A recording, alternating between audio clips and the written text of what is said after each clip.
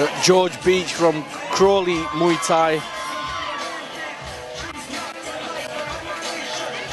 Credit to John Jarvis and his camp. They've really bought uh, a solid team of fighters to compete this far up north. Yeah, they have. I mean, uh, 73 kilos this fight. It's an A-class fight as well, so elbows, knees, punches, kicks. A good one to finish the night off with. Yep.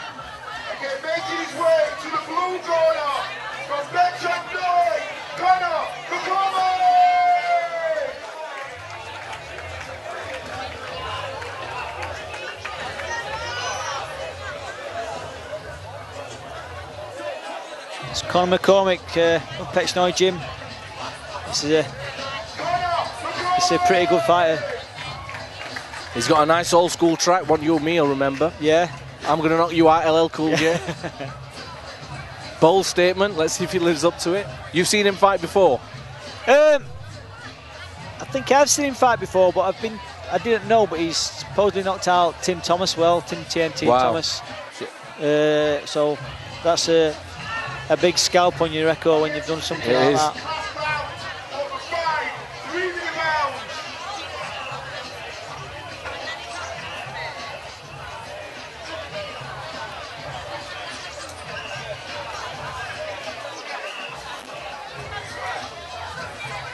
There's two Southern fighters, uh, George Beach, Crawley, Connor McCormack from Petchnoy in Northampton.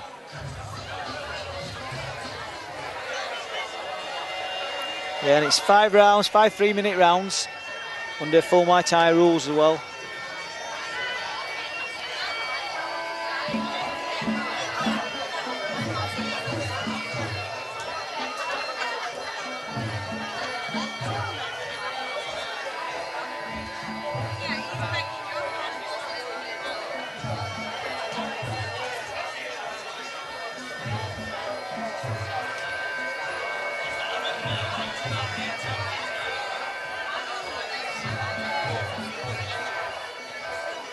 Credit to the matchmaking on this show from start to finish. We've had good bouts. We didn't think you could top Gillian Corbett's fantastic performance, but straight after that, we've seen a succession of really good quality performances Yeah, by both winners and losers. yeah. The, I mean, the fights have just got better and better as the show's progressed. I think the ladies have stood out tonight as well in their Yep, fights. Gillian and particularly Jeanette Warnes with that fantastic performance Yeah. and that beautiful knee to finish the fight. But this is it, the final fight for tonight. A class, 73 kilos, five three-minute rounds, full Muay Thai rules. Red corner, George Beach, Crawley Muay Thai, John Jarvis in his corner, Connor McCormack, Petchnoy with Scott Robinson from Northampton in the blue corner.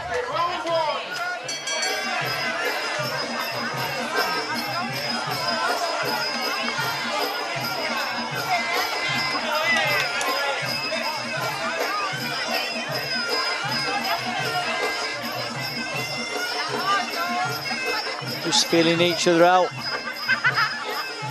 These long jabs and teeps to the legs. Connor seems to have a little bit of a height advantage.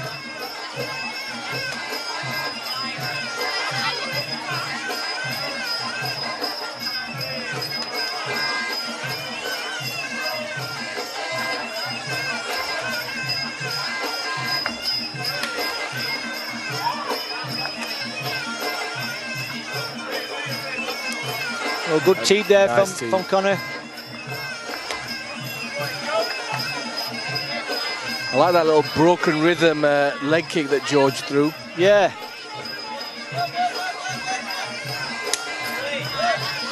Oh, first elbow that we've seen.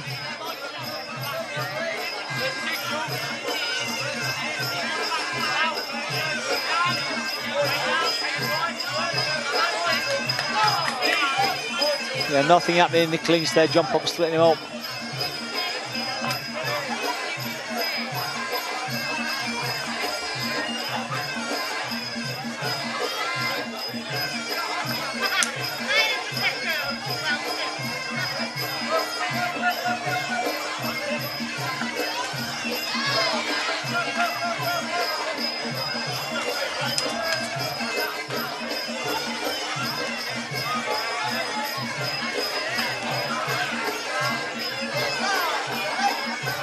Neither fighter getting particular dominance in the clinch. Yeah, they're, they're throwing nice shots on each other. But oh, nice straight right there by George. So both throwing nice shots on each other, but just staying relaxed at the same time. Again with the elbow, George came in there.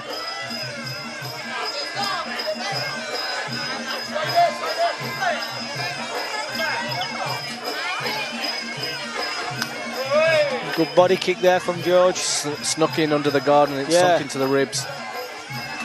Overhand right Oh. there by Connor that connected.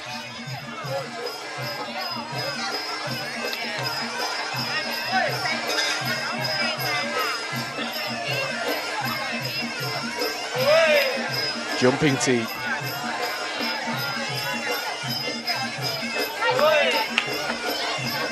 It's like a bit of a, a chess match at the moment. It is. Just testing each other out. No disrespect to the fighters on the uh, earlier part of the card, but you can just see the class of these two Yeah. young men in the very composed and tactical way that they're engaging Yeah. with one another. It just shows you that difference in class when you're moving up from uh, the lower ones to, to, to A class. Yeah, it's funny. is You, you get the, the the novice fighters, they go crazy, and you think it get faster as you get better, but it doesn't get slower. The, the more the more reserved in the in the things that they're doing, they're, they're not they're not rushing into things, just taking their time.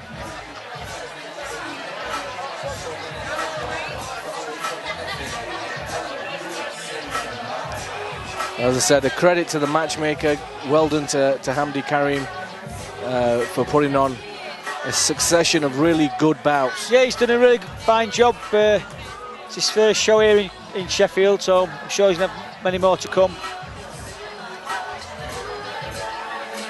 You know, and it's good to see that there's an appetite for a show that has nothing other than Muay Thai bouts on. Yeah, and and, and also one good thing about it here is um, the crowd's been very good. They've all been respectful. There's no, there's been nobody booing. I do go to some shows and Yep. people start booing it. It just spoil it. Uh, there's been nobody booing at all here.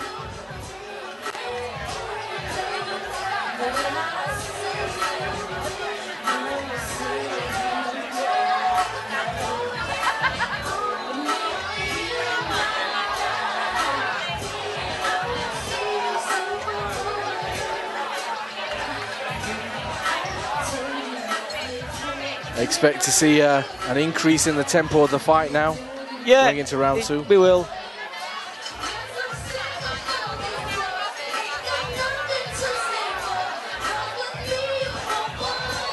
Both fighters had their moments in that first round. Both went for the elbows.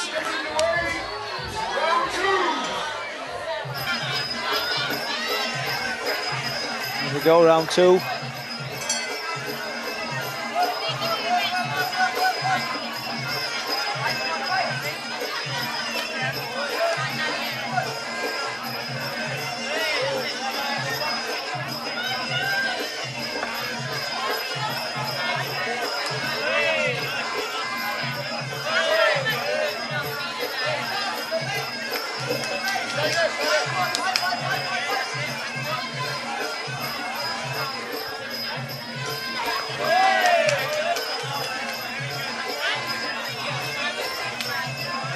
What's also good about fights at this standard as well is not just their attacking, it's uh, the defensive uh, skills as well. Absolutely, Phil.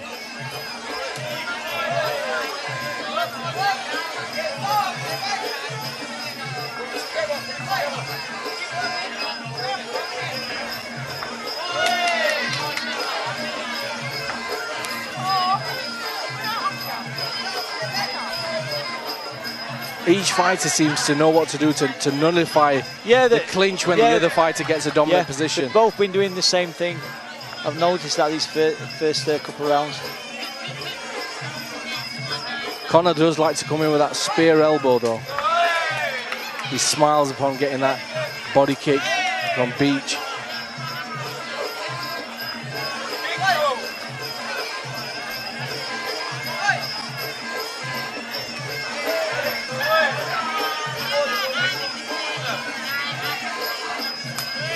Good head kick there from Connor.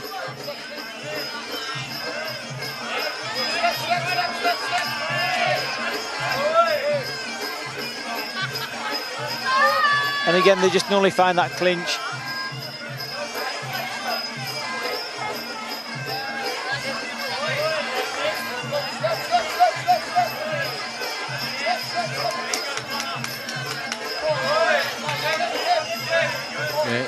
Connor tied his man up there. Yeah, it's, it's like they both get into a clinch, then they don't want to clinch.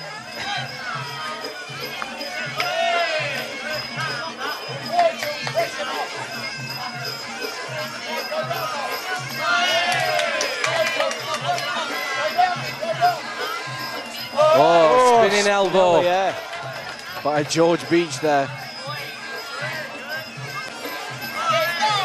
My little lads in the audience, they love that. Yeah. It's forever getting those on me as I'm walking through the house.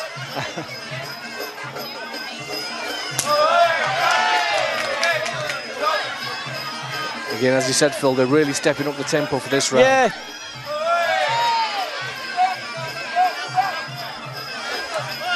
Oh, lovely elbow Again with that elbow from Connor.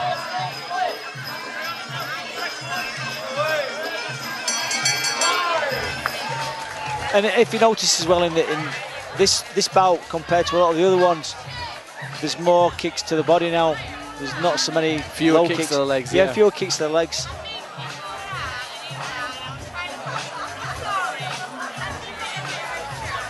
I mean, it's something you and I have noticed in the past when we've been working together, where Yeah. you've got fighters coming in from, say, a K1 background and competing in Thai and, and just falling foul because they don't realise what's going to score. No, they don't. isn't. It's hard. It's hard adjusting to, to right scoring criteria for, for whatever rules you're fighting under.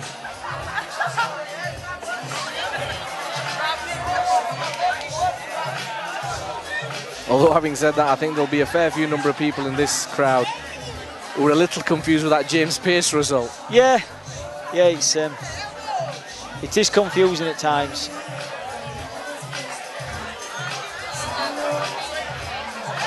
I actually have been on a few uh, judging courses uh, in the past, and uh, to be honest, the, the ones that are hardest to, to score, fight-wise, uh, is the novice fights. They're harder to score than the the more experienced fighters. What they do is more obvious, and the the novice fights are a lot harder to score. Well, I've noticed you and I are speaking far less during this fight because I think it's. Yeah, just 'cause we're- mesmerised. We're, mesmerised. We're you're right. mesmerised by the fight. Each fighter's going up through the gears. He's being matched by the other one. Yeah, This might be the round where we see one of the fighters starting to pull ahead. yeah. I mean, like, like I said before, I mean these these two guys are experienced as well, so they, they know this is the the third round, and this is where they're going to start stepping things up. Both of them happy, smiling in the corners. Yeah, You think they were out on a night out, not trying to uh, pummel each other. Nice little lay back there from Connor Yes. to evade that head kick. Slick. That doesn't mean George Beach is any kind of slouch. yeah. Very good footwork. As you said, really good defensive skills displayed by both fighters. Yeah, I mean, John Pop's now trying to push both fighters. It's time to keep going, keep going. Well, the exchanges seem to be going for a little bit longer compared to the previous two rounds.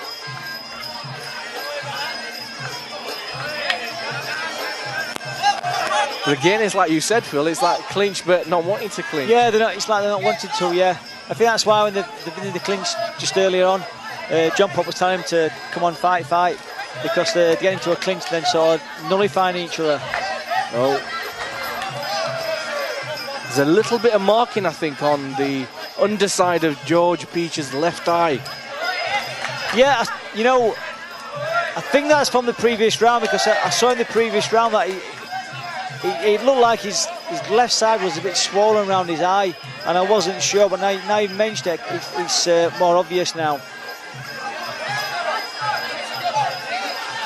Connor's oh jumping Oh. elbow by George Beach. Well, they're responding to the directions of the referee. They've certainly upped the tempo in this round. Yeah. Oh, Oh, big elbows now. slice down with that elbow, did Connor. Trying to go for the trip there.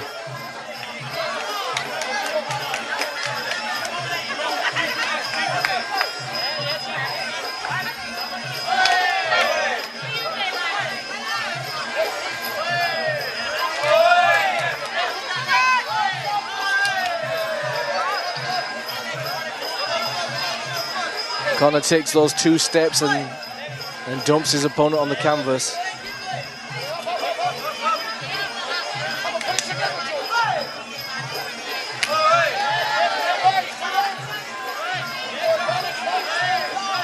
George able to prevent himself from being taken down that time.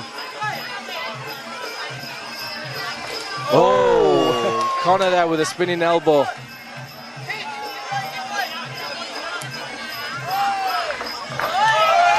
Beautiful there. George caught his body kick, Yeah, used his body to talk him, and then sent his own body kick to meet him.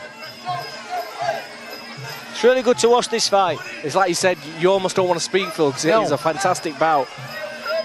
George sneaks through a straight right, Oh, a nice Oh, elbow then from from, uh, right onto that side of uh, Bleeding as well. I think. Uh, I think the back of the head. Oh, it's from. Uh, it's from George. Look, his eyes cut now. That's that elbow. yeah.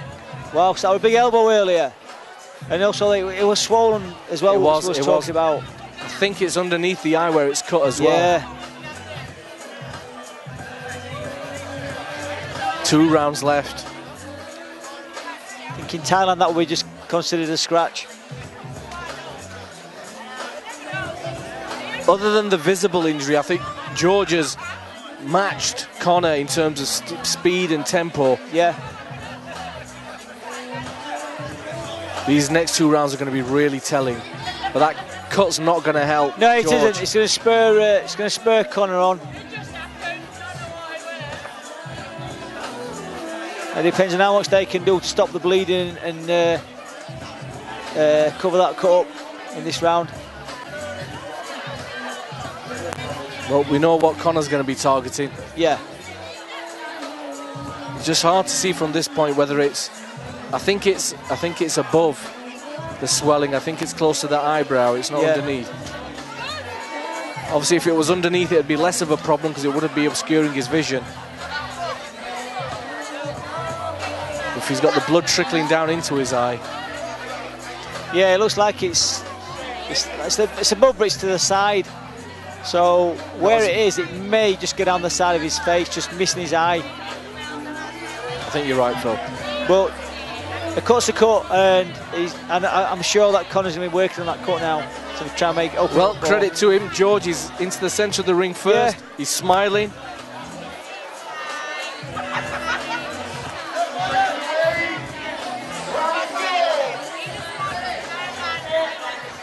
So we go for round four. It's going to really pick up now. Yeah, see now if Connor moves in close and tries to work on that cut or not. Nice lead leg head kick by Connor.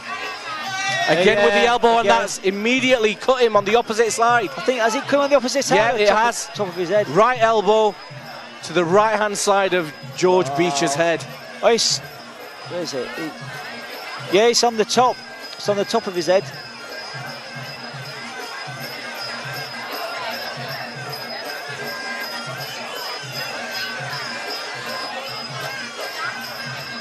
I think Connor was the first of the two to actually throw an elbow during this fight, Yeah, and he's just built on the tempo.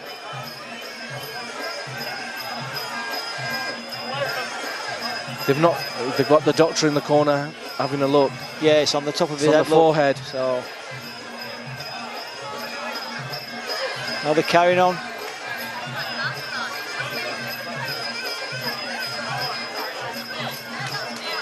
Oh, the finish, it's, it's been stopped.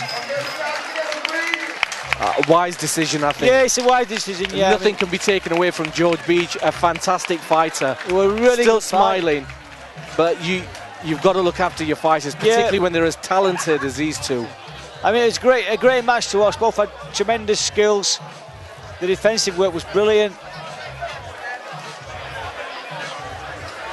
But all the credit to Connor McCormack for a very slick, efficient, and stylish performance.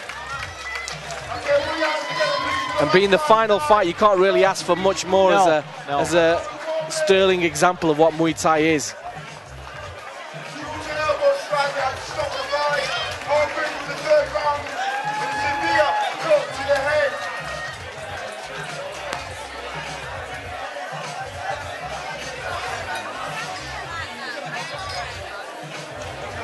Fantastic performance by both young men.